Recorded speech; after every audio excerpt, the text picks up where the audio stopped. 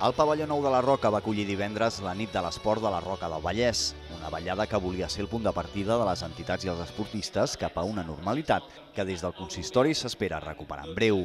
Una nit de l'esport inclusiva, aglutinadora i que va voler posar en valor la tasca del teixit esportiu del municipi durant aquest dur any de pandèmia. Una gala que va comptar amb públic a la grada i retransmissió via streaming. Sempre s'ha de buscar el marc més, més favorable possible. No? El pavelló ens facilitava això, ens facilitava més distanciament. En cas de que els seients a la grada no haguessin sigut suficients, haguessin pogut ficar cadires a, a la pista. I l'objectiu ha sigut poder celebrar aquesta festa, poder-la celebrar en pinya, que les entitats entre elles també es recolzin. No, també era, era la idea no? que, que avui les entitats fossin protagonistes, que s'agafessin de la mà, que unes fessin costat a les altres, i avui era aquesta xispa d'alegria perquè sortim d'aquesta festa.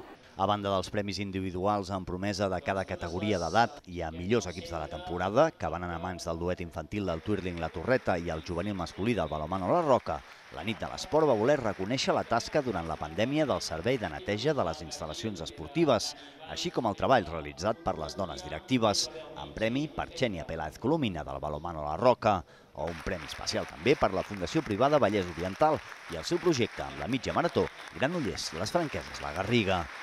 Una nit de l'esport marcada per la il·lusió de tornar a estar junts. La veritat és que poder mirar endavant i veure gent a les grades, poder veure que el ritme de vacunació està avançant i que l'any que ve hi ha molta esperança que puguem tornar a fer esport, puguem tornar a competir, puguem tornar a ser el que érem abans, perquè al final l'esport és la base d'aquesta societat també. Vull dir, els, els valors que transmeten a la canalla, els valors que, que transmeten els adults, jo no em cansaré mai de dir-ho, l'esport és una eina que transmet valors i aquest any, desgraciadament, ha estat adormit. Un dels moments més especials, però, seria el reconeixement pòstum a Gregori Conill, de l'embol de la Roca, i a George Gerard, molt vinculat al municipi i als esports rocarols. Una ballada que va obrir amb una actuació del Twirling La Torreta i que va acabar amb la cançó I Will Survive, reinterpretada per l'Escola de Música i el Twirling i cantada per totes les entitats.